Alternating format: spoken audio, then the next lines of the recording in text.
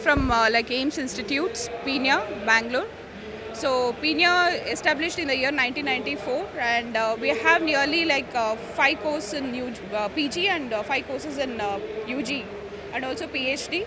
We also have a PU college here. So coming to the uh, programs here, like you know, uh, uh, like we focus more on like management and commerce here, and uh, we have exclusive focus centers for the student development activities. And also uh, we have uh, like you know uh, placement cell who will be supporting our students here for the play, final placements and internships too. It's in Peenya first stage, ma'am, Jalahalli Cross. So. Uh, so I am Nitya. I am uh, taking care of admissions uh, at AIMS Institutes.